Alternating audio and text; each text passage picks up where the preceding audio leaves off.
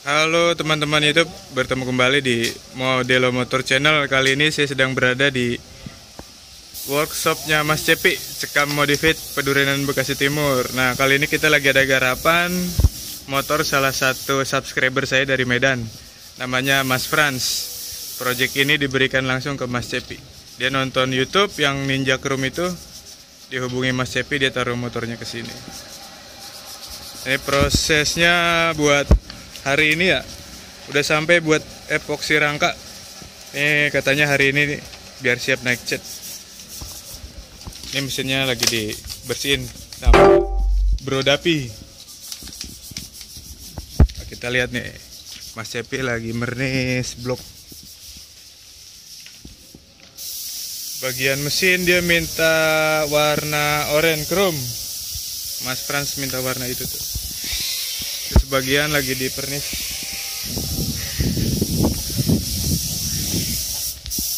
Kita lihat. Lagi di pernis, pernisnya dia minta pakai speaker.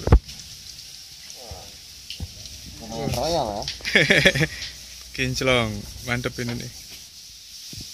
Bikin yang belum ada ini nih. Walaupun buat harian motornya harus kinclong katanya.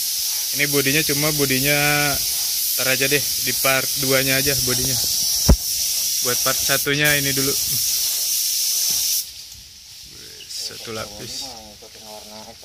Hmm, kalau bodi ikut warna SNK ya. Soalnya ini benar-benar buat harian motor Mas ya. iya Hmm. Oh, strippingnya versi custom. Sip, sip. Terus nanti apa lagi yang dikerum ini, Mas? nah bagian yang dikun peleknya Hmm, pelek, pelek ya. peleknya pakai jari-jari Jos, krum. Kalipernya juga dikerum semua. Kita lihat dari dekat ya. Wis. Kinclong benar. Jauh-jauh dari Medan ini garap motornya di Bekasi. Mungkin ntar ya kalau apa ya hasil jadinya langsung dikirim ke sana mungkin. Rangkanya masih proses.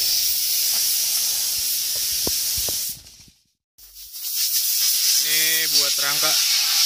Mas Cepi mau ngecat warna abu-abu. Lagi dibersihin dulu. Semprot angin.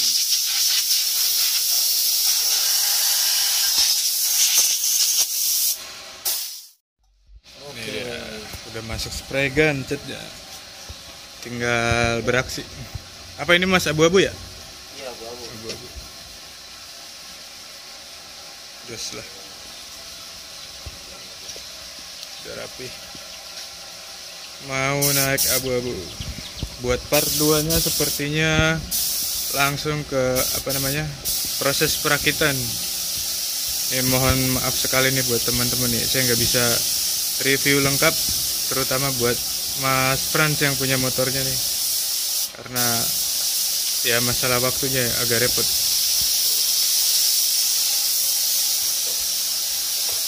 Nanti buat apa ya perakitannya mudah-mudahan dapat deh.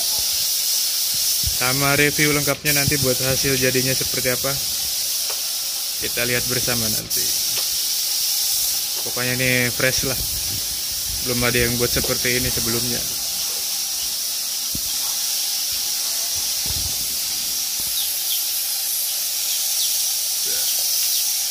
Bahannya piu, bahan bagus nih, cepet nutupnya.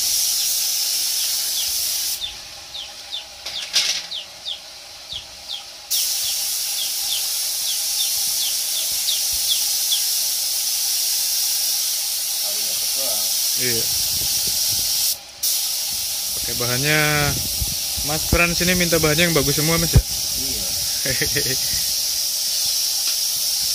Subscriber saya dari Medan ya. Jauh-jauh dari Medan.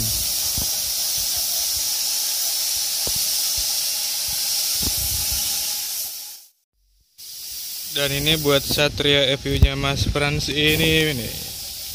Ntar peleknya kemungkinan warnanya sama seperti ini. Dengan dasaran chrome, pakai candy-nya hijau muda. Sama ininya bagian yang ditutupi ini tetap uh, apa namanya chrome. Cuma bagian yang ini mau pakai karbon celup. WTP karbon WTP bodinya sudah epoksi semua tuh. Ini mau diamplas terus mau ngecat warna abu-abu tapi nantinya motor ini juga masih pakai stripping ya cuma strippingnya versi custom bukan yang stripping bawaan pabrikan. Karena apa kenapa dipilih warna abu-abu? Karena mengikuti STNK bawaan motor. Motor ini benar-benar diperuntukkan buat harian.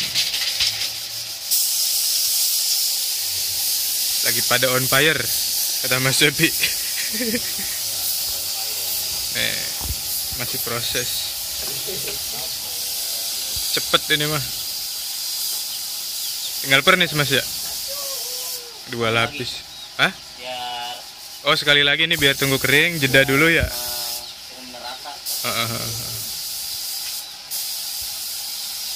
Wih bagus catnya cepet nutupnya itu. Mantep.